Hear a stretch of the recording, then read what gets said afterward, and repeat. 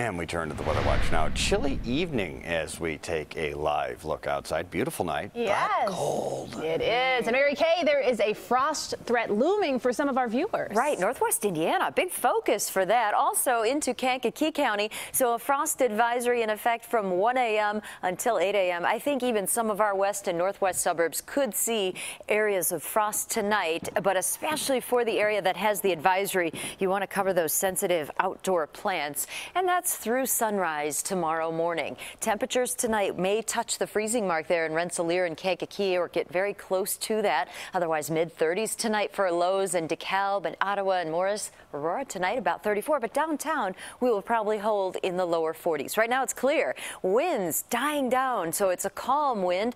45 degrees is our current temperature, and downtown is 47. But we're in the 30s already in Gary and Valparaiso. It's 40 in Waukegan and DeKalb, and 43 degrees degrees in McHenry. Futurecast showing that we're mainly clear through the night, starting out with partly sunny skies and temperatures move to the lower 40s. And then in the afternoon, some spots touching that 60 degree mark.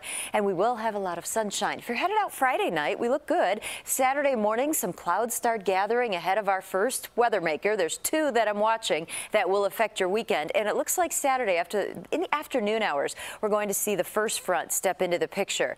So showers move in for Saturday afternoon. Temperatures rise, low and mid 60s for us for daytime highs, but not a lot of moisture tacked onto this front. So just scattered showers ahead of it. It pushes through Saturday night. Sunday, we are between the two systems. So I do think that we will be dry and quiet during the day on Sunday for the Bears game. It looks quite nice. Then we're going to watch this next system move in. Now, this one's more impressive. Rain, some thunderstorms are possible, and this has a deep tropical connection to the Gulf of Mexico and also to our tropical disturbance that hurricane hunters have been watching here in the southwestern Gulf of Mexico. Winds are at 40 miles per hour.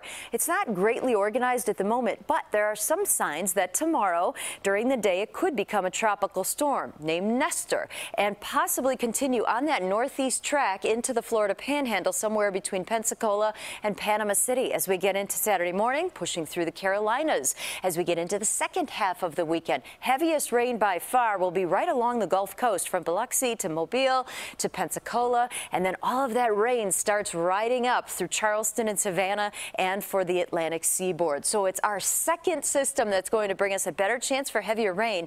First chance Sunday night, better chance Monday as all of that moves through along that front. So we have two systems on the way as temperatures warm to the mid 60s.